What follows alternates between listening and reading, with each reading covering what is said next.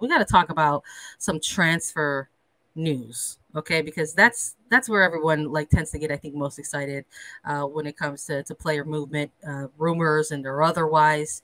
But uh, it's going to impact the united states women's national team a little bit. You know players who play overseas and you want to uh, be up to date on on their club play uh, probably the most recent news uh, out of Lyon, essentially, with the United States women's national team midfielder Lindsey Horan is set to extend her stay uh, at Olympique Lyon um, beyond her initial loan spell with the team. The head coach, uh, Sonia Bompastor, uh, also essentially confirmed that uh, Amandine Henry, uh, Catarina Macario, Signe Bruun, among others, will will be leaving at the end of the season, so they will no longer, you know, be part of of Lyon's roster moving forward. But uh, also gave a little tidbit that uh, there are ongoing discussions with the. Uh, Marozsán and Le Sommer. So they're trying to keep the trying to keep some couple of good midfielders there. I think in Marozsán and Horan to to kind of move forward, especially I think you know in light that uh, Amandi yeah really on the move. Yeah, completely. I think it's important also like the Lindsey Horan of it all staying at OL um, because she's with the Thorns, right? She has signed a contract through 2025, I believe, with Portland Thorns, but she's been on loan with Olympique Lyon uh, in France, and her time there has been really, really beneficial for this player.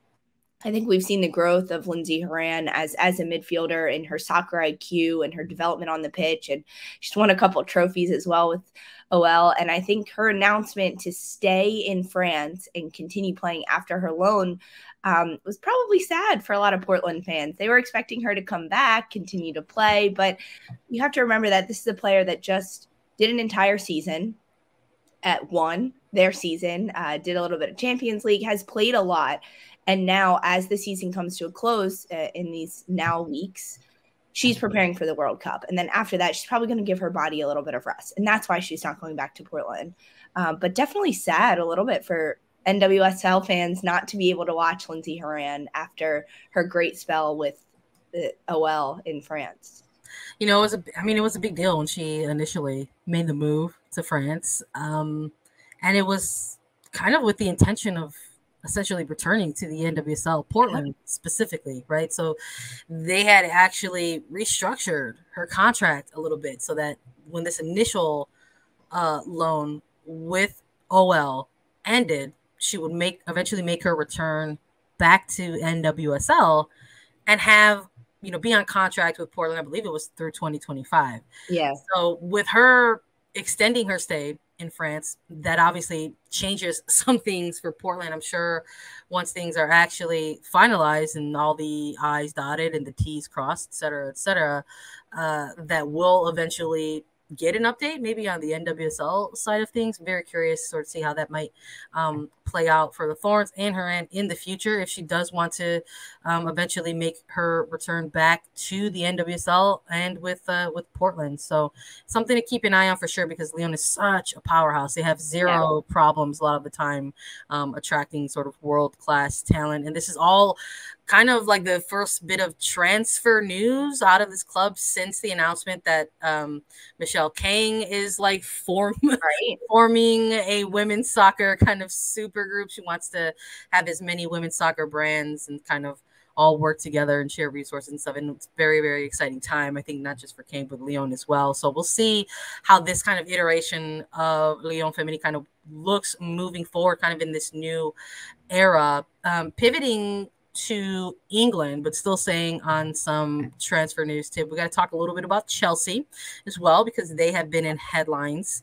Uh, former world record signing Pernille Harder announced that she's going to leave Chelsea at the end of the season, and that includes news around Chelsea captain Magdalena Eriksson as well. She also confirmed that she'll leave Chelsea at the end of the summer after six years with the club.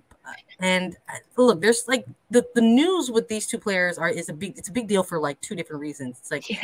Pernille is like I mentioned that she was a world record signing for them in terms of let's it's money, right? They they showed her they showed her the dollar signs and said, Hey, sign on this line. We want you here at Chelsea with us. You know, Emma Hayes building uh this this sort of super team to try to make sure that they can compete and keep that grip on women's super league and eventually try to get over that hump in Champions League And then for Eriksson, it's really big news just because of her uh, her long tenure with Chelsea and since everything 20, that she's accomplished. Yeah, Eriksson's been there since 2017.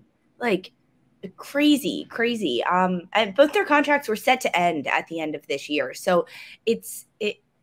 I, I don't think it's a massive surprise. I mean, it is a big surprise and definitely a big shock with how long they've been there, but it's been a long time, right? I mean, Harder joined uh, Pernille Harder joined Chelsea in 2020. That was a three-year contract, and and the run that Chelsea went on since then um, with Emma Hayes, they won two W.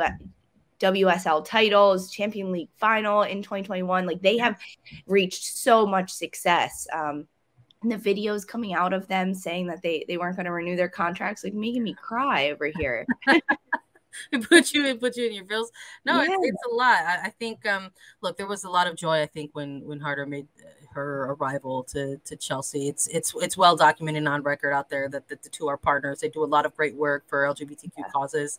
Um, and so there was a lot of excitement to have these two reunited in Chelsea. And now it's it's rumored that they're gonna both uh, head to, to Bayern Munich. It'll be a return to the Frauen Bundesliga for for Harder, where she has absolutely excelled in, in previous years with with Wolfsburg specifically. So it'd be interesting to see um, how that team looks with the two of them um, together, uh, possibly contending for titles in in in Bundesliga. We'll see, but it's uh, it was a chunk of news that I think um, maybe had Chelsea fans feel a bad, a bad for a little bit, just because it kind of came also on the heels of, of Fran Kirby's announcement that she's going to be out for the foreseeable future yeah. with Chelsea, but not only for club, going to miss out on the World Cup as well. So it sort of felt like this kind of one-two combo, perhaps if you're a, a fan of the Blues. Um, but don't get too down. Don't get too down because Chelsea are in contention for some cool things still this season. And of course, we'll chat a little bit about that as well. But another bit of news before we pivot into some more Chelsea related things. There's some rumors tied to Chelsea that we want to talk about a little later in the show. But we're going to close out this portion of the news and notes segment with some NWSL related news as well. Gotham with some cool news out of Wednesday morning announced a partnership with SL Benfica. Benfica, one of the world's most historic and best known football clubs, and Gotham FC, the top ranked club in the NWSL, are excited to announce a transformative partnership aimed at advancing women's soccer development and expanding their global reach. The statement read, this morning. I liked to see this in my inbox this morning. It was cool to see more of this throughout NWSL. These uh, they're referred to as these strategic partnerships between NWSL sides and a lot of European clubs, um, clubs that have typically featured in Champions League. Mm-hmm. Uh, we saw the announcement of Red Stars and Wolfsburg earlier in the 2023 season, kind of to open up the new year. And um, prior to Michelle King having um, overseeing things with uh, Olympique Lyonnais Femenino, she was really interested in how this dynamic of having like kind of several women's clubs under one umbrella can look. But prior to her making that official, OL, Club America, and the Reign also announced a bit of a trio of partnership as well. So I'm, again, I'm very curious of where Kang is going to lead some of these things moving forward.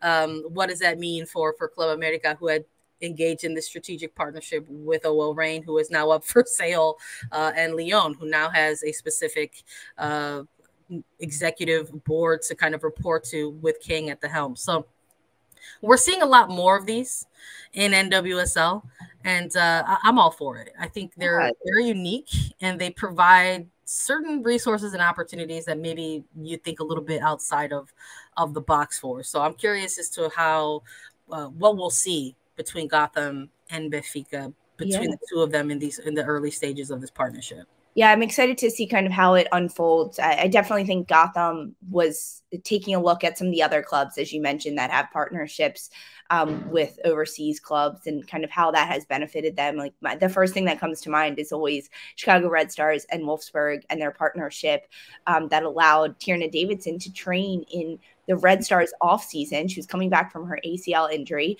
and Chicago Red Stars weren't playing games and they weren't having organized training. And instead of training on her own to get back into shape, she went over to Wolfsburg and started training with them and playing with them as, as a training player, which allowed her, uh, coming back from that ACL injury, to get back on the pitch a little bit faster, I believe. So to me, that was that's like one of the examples that just jumps out in my mind as a really good way yeah. to kind of utilize both of these clubs and sending personnel back and forth and, and things like that. Yeah, we already. I mean, we're sticking with Wolfsburg, so I mean, we already have seen it. We we saw the announcement of, of, Sandra Starke from Wolfsburg to the Red Stars on a short loan. She will be with the Red Stars, I believe, through um, through June, ahead of you know the World Cup, and uh, we'll see how she continues to try to make an impact there. But that's another example. I mean, in, in Gotham, um, including that in their in their statement uh, as well, they want to make sure that they you know have uh, Benfica as part of like the, the, the brand expansion, right? It, embark on strategic initiatives, um, and that's going to include when you're talking about strategic initiatives. I mean, that's going to include the possibility of you know future player transactions. So all that stuff is very exciting when you're like thinking and reading into some of these um, announcements with with partnerships between um, two clubs or multiple clubs uh, moving forward. So um, it was fun to see that drop early enough to where we were able to grab yeah. it and include it in our news and notes segment because one thing that happens when we go live is news breaks. Always, always, always when we do like our news and notes. It was cool to sort of see this come through the pipeline and then be able to snag that and chat about it here with everyone